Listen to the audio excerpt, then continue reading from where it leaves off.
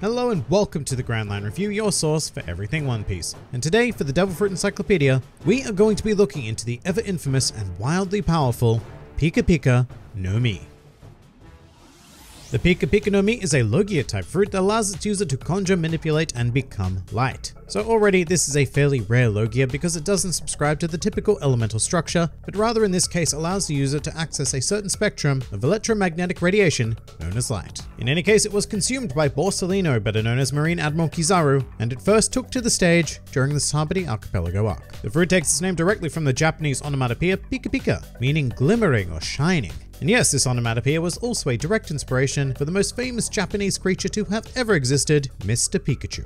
However, as a result, the English translation had quite a job on its hands here as we don't have access to a large amount of short, snappy words to replicate this pragmatically. However, both Viz and Funimation did settle for the Glint Glint fruit.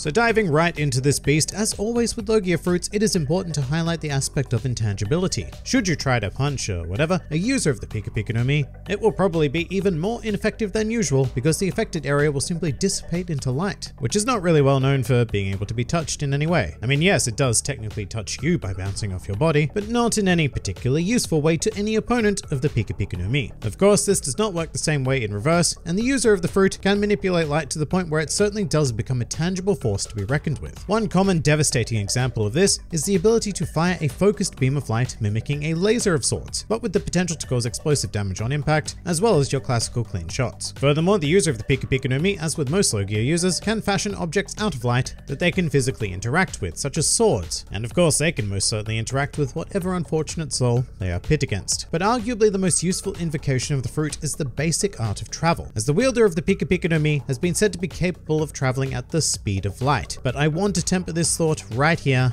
right now. The One Piece world does not subscribe to real world physics, so this can be quite a dangerous statement if we think of it in relation to the speed of light as we know it, which, you know, if you were to be capable of achieving such a feat, would let you travel around our globe seven and a half times within a single second. The user of the Pika Pika no Mi does not have this capability, and if they did, this would be by far the most broken devil fruit in the entire series, no contest. As for exactly how fast the user becomes, well, it's pretty difficult to quantify based on a fictional story about pirates, but let's go ahead and say that it's pretty damn fast. Certainly enough to make the user the fastest natural existence in the world. Which sounds pretty awesome, yeah? Well, we do need to remember that this speed also comes with one pretty massive weakness, which is that light can only travel in a straight line, unless it is reflected or refracted. And this is a much bigger problem than it may sound, because you've all of a sudden lost any decent sense of being able to move around freely whilst in your super duper light mode. So if you're planning on traveling this way, you'd best be damn sure that your trajectory is spot on, because otherwise you could end up extraordinarily far away from your destination. And even worse if you don't take into account a rogue reflection along the way. And this also goes towards combat as well, because traveling in a straight line is restrictive enough in casual use, but if you want to use this in an actual fight, then uh, I don't like your chances, at least not as an inexperienced user. The learning curve for the Pika Pika no Mi is incredibly high, and if an inexperienced individual were to use this, then honestly, I don't even think that your opponent would need to worry too much about dodging, because you're pretty unlikely to hit them with your super straight trajectory and super speed combination that will have you traveling so fast that you won't have any time to think about where you're going. Although should you land an attack, then it would be absolutely devastating, especially if you significantly increase the force of an attack by transforming part of your body into light and thus using it to propel another, such as a punch or a kick, essentially allowing you to strike your opponent in the One Piece world equivalent of the quote-unquote speed of light. And look, I mean that's another reason why we know it can't possibly be the speed of light, because multiple characters in the series had been struck by this speed, and not only were they not completely eviscerated from all of existence, but they suffered no long-term ramifications at all, as if it were just sort of some mildly powerful kick. But don't get me wrong, attacks using this fruit are still absurdly powerful, just not quite as powerful as its user states. So speaking of, let's jump into Mr. Kizaru's use of the fruit, and I have to say that he is entirely competent, perhaps even an exceptional user of the Pika Pika no Mi.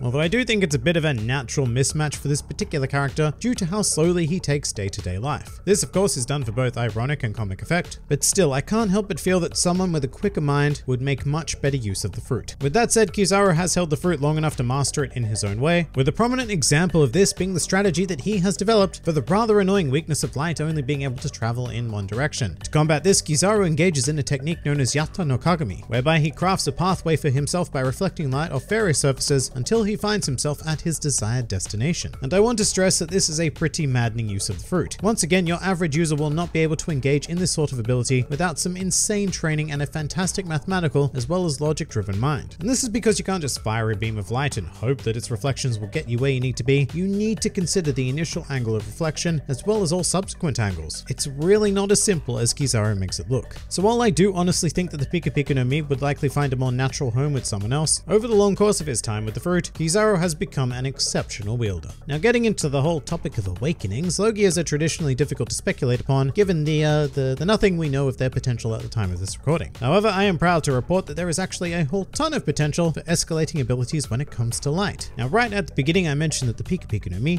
gives the user the ability to conjure, manipulate, and become light within a certain limit of the electromagnetic spectrum, that limit of which I'm assuming is visible light. However, there is every chance that an awakened user of the Pika Pika no Mi would be able to access a wider range of that spectrum, and what I'm thinking of here in particular is ionizing radiation such as ultraviolet light, X-rays, or even gamma rays. And if the awakened user of the Pika Pika no Mi was a particular type of dick, then they could purposely expose individuals to said rays, high doses of which could result in highly undesirable effects such as cancer and even death. Then of course we also have the theory that an awakened Logia can permanently alter their environment, like how we saw Punk Hazard altered by the Hiya Hiya no Mi and the Magu Magu no Mi. And now you might be saying to yourself, well, Grand Line Review, there's no place where there's permanent light in the world, and you, uh, you'd be wrong there. Because within this world we have the ever strange existence that is Enies Lobby, a location in which it is always daytime. Now barring some sort of reasonable scientific explanation for this, which I can't think of, I will say that it's entirely possible that this phenomenon may be caused by an awakening of the Pika Pika no Mi.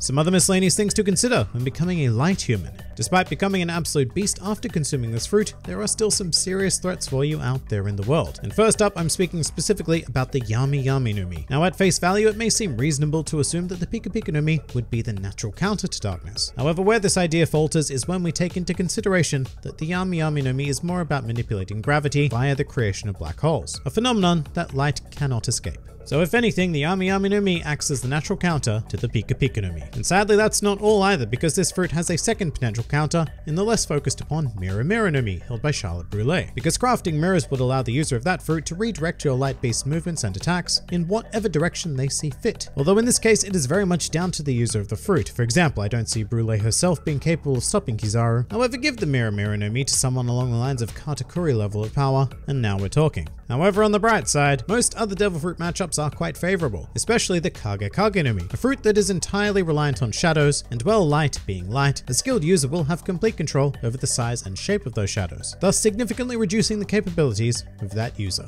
And you know what, in all of this talk, we've actually skipped over one of the most basic uses of the fruit, which is that at any time you can use your Pika Pika powers to simply blind people and then make a quick escape should you find yourself in an undesirable situation. And furthermore, we haven't really spoken about the basic utility of light, as the user of this fruit, for one, would never have to pay electricity bills for lighting specific needs ever again. And furthermore, should the user be more artistically inclined, then they can put that to great use in the realm of film and theater. As a lighting designer myself, this would easily be my number one choice of all devil fruits to consume in the series for that very reason. So this fruit is pretty ridic. What we have is a Logia, which is already simply incredible on their own, but a light Logia really does outshine much of its competition in the devil fruit world. By consuming this fruit, you will pretty much immediately become the fastest living being in existence. But there is a significant trade-off. I've mentioned it a lot, but I'm going to say it one last time, because being only able to travel in a straight line is a huge constraint, and one that you are going to have to change your entire way of living to adapt to. That is, should you wish to travel or engage in combat with the Pika Pika no Mi. But if you can beat the learning curve, then the potential for this fruit is pretty spectacular. Certainly one of the best we've ever examined, and one that I'm pretty keen on consuming myself. So all of you had best go and uh, go and find another fruit, and who knows, maybe you'll find a nice consolation prize next week.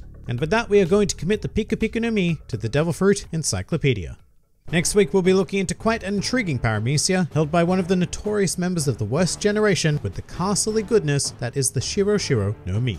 If you enjoyed this video and the content this channel produces in general, then please do consider donating to the Grand Line Review Patreon because the support of all of you amazing people is what continues to make this channel possible. And if you'd like to see more videos like this but applied to other anime and manga series, then please do check out my second channel New World Review for all of your wider needs. And if you'd like to join the fun at any time, then please do head over to my Discord server where a wide array of shenaniganry takes place on a daily basis. And finally, please do comment with your thoughts on the Pika Pika no Mi.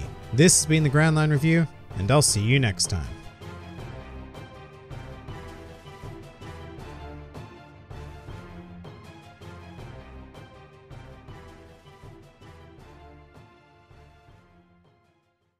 Pikachu, I choose you. Pikachu.